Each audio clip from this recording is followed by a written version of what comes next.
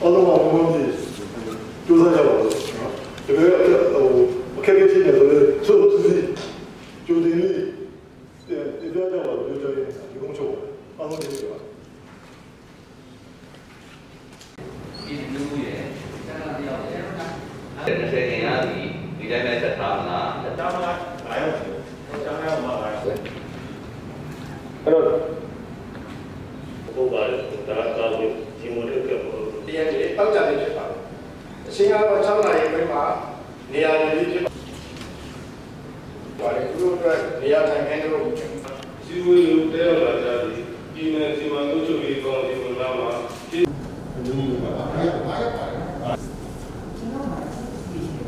စိတ်ချရတဲ့တော့ဘုရားအဲ့ဒါ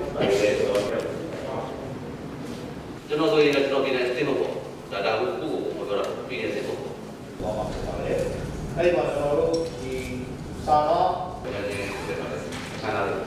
거야.